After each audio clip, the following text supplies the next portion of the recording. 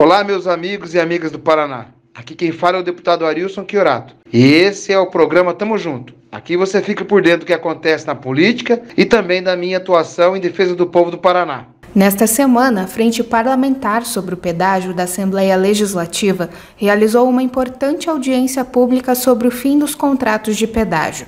Os estudos apresentados pelos técnicos da Universidade Federal do Paraná traduziram em números o descumprimento do contrato atual com os usuários e usuárias. Entre os dados apresentados, o deputado Arilson chama atenção para as obras não concluídas e afirma que permitir um novo contrato, como está proposto, com obras em duplicidade já pagas, é dar continuidade a um modelo injusto, caro e ineficiente. A audiência pública foi positiva, no sentido que conseguimos chegar a um objetivo. A Universidade Federal, através do ITTI, esboçou o passivo do pedágio no Estado. Infelizmente, uma notícia que não queríamos dar, mas é que 51% apenas das duplicações prometidas e contratuadas em 1997 foram cumpridas. 57% das obras de terceiras faixas foram cumpridas apenas e 33 contornos e viadutos contabilizados. Infelizmente, a gente entende quanto o povo sofre por conta desse pedágio.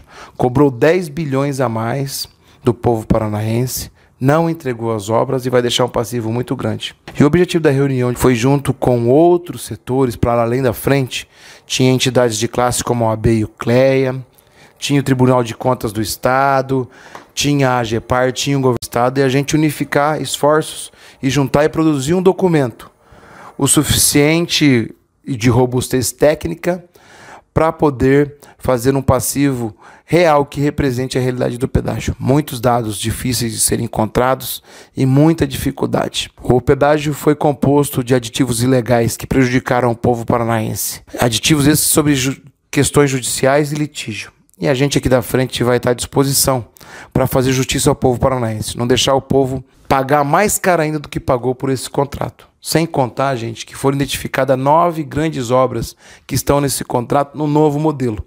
E a frente vai tomar posição sobre isso. Por isso eu quero agradecer a cada um e a cada uma que participou e dizer que essa frente parlamentar, esse deputado aqui vai estar lutando incansavelmente para não deixar essa mazela se alastrar e continuar por mais 35 anos. Tamo junto! Os atuais contratos de pedágio encerram neste sábado, 27 de novembro. O deputado Arilson explica sobre a responsabilidade do governo federal e estadual com a manutenção das rodovias e a prestação de serviços até que se tenha um novo contrato.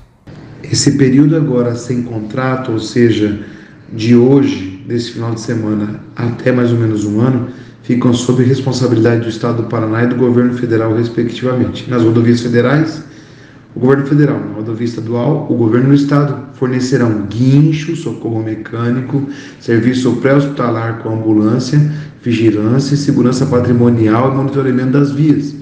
Estarão sob responsabilidade. O SAMU, através da, do bombeiro, administrará o serviço hospitalar e o guincho será administrado pela Polícia Militar do Estado. Existem agora números novos para você ligar e eu quero que você saiba que tendo problema denuncie. É importante que a população tenha o serviço continuado, mesmo sem a cobrança de tarifa, uma vez que pagou-se 10 bilhões de reais a mais aos pedágios. Tamo junto! Finalmente, os paranaenses se livraram de 24 anos de um pedágio caro e abusivo. Porém, o novo modelo de concessão de rodovias está longe de ser um modelo justo.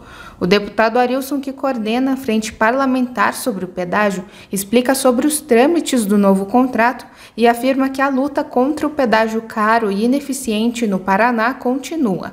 Quanto ao novo contrato, a gente continua no aguardo do Tribunal de Contas da União oferecer a público o edital. Portanto, vamos ficar de vigília trabalhando e cuidando desse contrato, que está muito perigoso para o estado do Paraná. Pode vir mais 30 anos de pedágio mais 15 novas praças, degrau tarifário de 40%, enfim, tudo o que a gente viu com outro nome apenas. Tamo junto. Chegamos ao fim de mais uma edição do programa Tamo Junto. Se você curtiu, comenta pra gente saber e compartilha com os amigos e amigas nas redes sociais. Até a próxima. Obrigado pela audiência. Seguimos na luta em defesa dos paranaenses. Tamo junto.